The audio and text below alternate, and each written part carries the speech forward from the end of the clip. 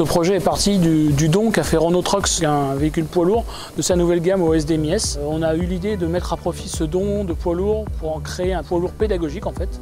Et donc on s'est rapproché du lycée Gabriel Voisin à Bourg-en-Bresse.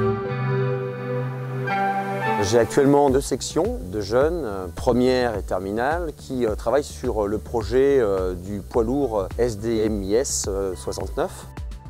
Je m'appelle Marga Mathieu, je, suis, je fais partie du lycée Gabriel Voisin en première bac pro construction des carrosseries. bonjour, je m'appelle Maxime Caruba, je suis en terminale construction, je suis en bac pro. on a travaillé sur le projet du camion de pompier.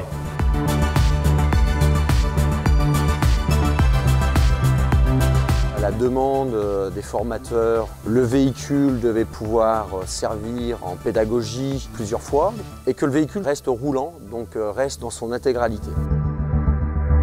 On a reçu le camion l'année dernière et on a procédé par commencer par enlever la cabine. Et une fois qu'on avait enlevé la cabine, on a découpé la, la trappe. La trappe arrière et on a aussi enlevé les garnitures avant et après on a commencé à découper le pavillon. On a créé une trappe euh, de désincarcération pour euh, une simulation d'extraction de victimes euh, lors d'un accident sur poids lourd. Les élèves qui ont travaillé sur ce projet ont été fortement mobilisés.